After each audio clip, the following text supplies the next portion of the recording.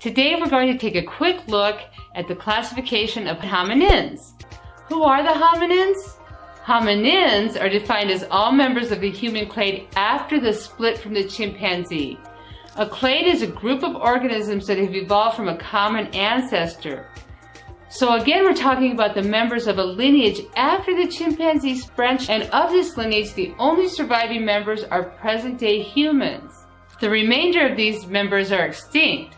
So all hominins include all of what we would call human-like species, those more closely related to humans than any of the other members of the hominid family. But for the hominins, there are many of hominin species that date back millions of years. You may have heard of Lucy, who is from this group, Homo erectus, Homo heidelbergensis, and Homo neanderthalensis, commonly known as the Neanderthal man, with all of these species being extinct. Still, they are from the hominin family, and only we, the Homo sapiens group, remain.